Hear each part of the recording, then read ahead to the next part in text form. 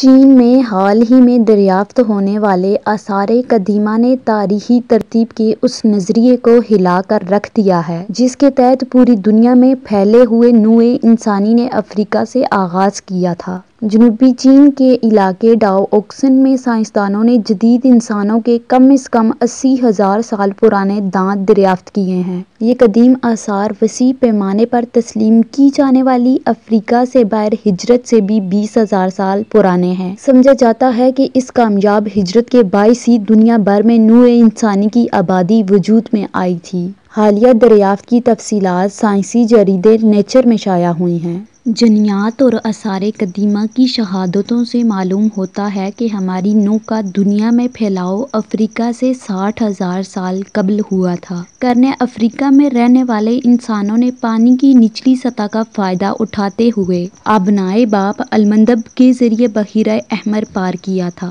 ख्याल किया जाता है कि आज के दौर में बसने वाले तमाम गैर अफ्रीकी इंसान इन्हीं तारकिन वतन की नस्ल हैं। डाओ ऑक्सन के इलाके फ़ाइन के गार में खुदाई के दौरान सैंतालीस इंसानी दांत दरियाफ्त हुए हैं। यूनिवर्सिटी कॉलेज लंदन की डॉक्टर मारिया महतनून टॉरस ने बीबीसी न्यूज़ को बताया कि हमें ये वाजे था कि ये दांत जदीद इंसानों के थे, लेकिन उन दांतों की तारीख हमारे लिए हैरान कन थी। उनका कहना था कि ये कदीम आसार कलसाइट मादे की सतह के नीचे महफूज थे, जो कि सख्त चट्टान की मानत होती है और उन्होंने उन दांतों को बिल्कुल महफूज रखा था।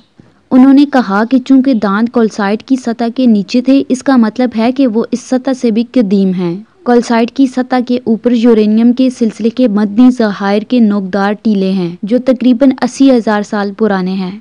इसका मतलब है कि उन अस्सी हज़ार साल पुराने नोकदार टीलों की सतह के नीचे पाए जाने वाली हर चीज़ उनसे भी कदीम है। महक्कीन के मुताबिक वो दांत सवा लाख साल पुराने हो सकते हैं।